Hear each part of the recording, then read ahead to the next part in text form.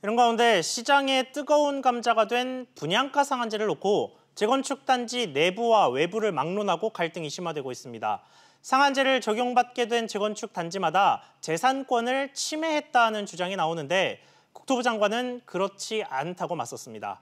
취재 기자와 관련해서 이야기 자세히 나눠보겠습니다. 황인표 기자 나왔습니다. 자, 황 기자. 네.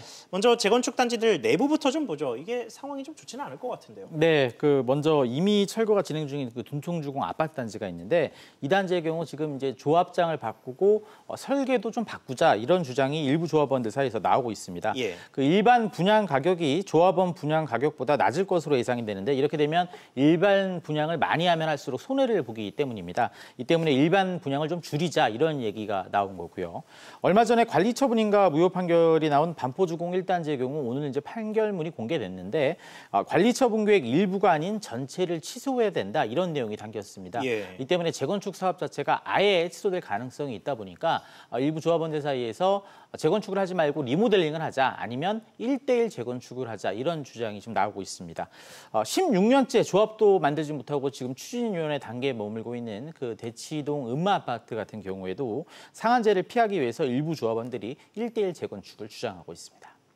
네, 여기에 재건축 조합 내부 말고도 재건축 조합 전체와 정부 사이의 갈등도 지금 불에 붙고 있는데 이쪽 상황은 좀 어떻습니까? 네, 먼저 그 재건축 조합의 경우 상한제 적용으로 어, 일반 분양 가격이 떨어지게 되면 이 재건축 조합의 이익이 줄어든다면 크게 반발하고 있습니다.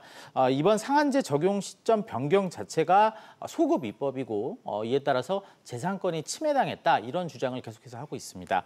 어, 이 때문에 일부 재건축 단지에서는 헌법 소원이나 상한제의 효력 정지 가처분 신청 등 이 법적 대응 움직임도 시 작이 됐습니다. 예. 이 반면 김현미 국토부 장관은 어제 국회에서 이 관리 처분 인가를 받을 때 나온 그 예상 분양 가격은 확정된 가격이 아니라 기대 이익에 불과하다면서 이 재산권을 침해하지 않았다고 밝혔습니다. 아, 또 국민의 주거 안정이라는 공익이 이 조합원들의 그런 개발 이익보다 더 우선하기 때문에 이 분양가 상한제가 문제 없다는 입장을 내비쳤습니다.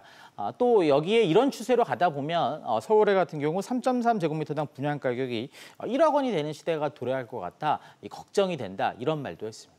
자 그렇군요. 1억 원이라는 발언은 그 자체로도 좀 논란의 불씨가 될 것 같은 느낌이 드는데 그런데 김현미 장관이 이 국회 같은 자리에서 재산권 침해에 대해서 법제처의 유권 해석을 받았기 때문에 문제가 없다 이런 취지의 발언을 했는데 사실이 아니라는 얘기가 있습니다. 네, 그 이제 이 말을 한 건 한 라디오 방송에서 한 거였는데요. 지난주 화요일에 김 장관이 한 라디오 방송에 나와서 이 법제처의 유권 해석을 받았는데 문제가 없다. 즉 상한제 자체가 이제 문제가 없다. 이런 취지의 말을 했습니다.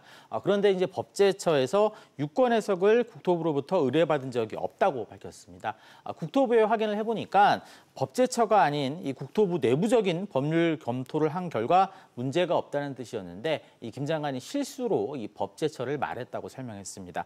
아, 또 다른 논란이 불거질 가능성이 좀 커 보입니다. 그렇군요. 황 기자 잘 들었습니다.